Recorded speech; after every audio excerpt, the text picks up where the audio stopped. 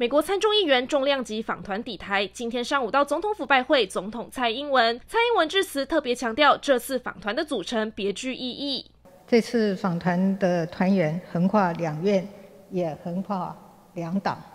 显示台湾在美国国会获得跨党派的高度支持。六位议员除了横跨参众两院，包括参加参院预算、外交、国土安全、财政以及众院军事等重要委员会，是今年第一个来台的参议院访问团。率团的参议员葛瑞姆是第三度访台，近年积极争取成为共和党党团领袖，二十年来致力于推动台美经贸往来，深化台美安全合作。致辞时强调，台湾与美国共享自由价值，抛弃台湾就等于抛弃民主自由。民主党籍的梅南德兹担任参院台湾连线主席超过十三年，常年以具体行动表达支持，包括领衔提出有台议案，是台湾的超级好朋友。梅南德兹致辞时，首先强调台美关系坚若磐石，同时透露这次来台前，他们的办公室都收到了来自中国政府的抗议信函。Chinese government issued to our offices and publicly communicate that they are very unhappy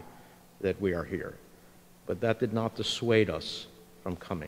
美南德兹指出，不希望台湾发展太好的人必须了解，全世界都在注意台湾，不会允许负面事情发生，因为这关乎全球利益。访团会后接受媒体提问，针对是否支持台湾加入印太经济架构，国土安全委员会参议员波特曼除了给了肯定的回答，更进一步强调也支持更重要的台美洽签经济贸易协定。重量级参众议员访台重申挺台立场，立委林俊宪在脸书发文表示，这不仅代表台美交流常态化，更是美国直接以行动告诉中国，台湾的对外交流，中国没有插嘴的余地。他也提到，瑞典议员来台同样也是无视中国抗议。中国国台办对此除了再提反分裂法呛声，今天也在台湾周边海空域进行军事演练，胁迫滋扰动作频频。以上记者杨耀如整理报道。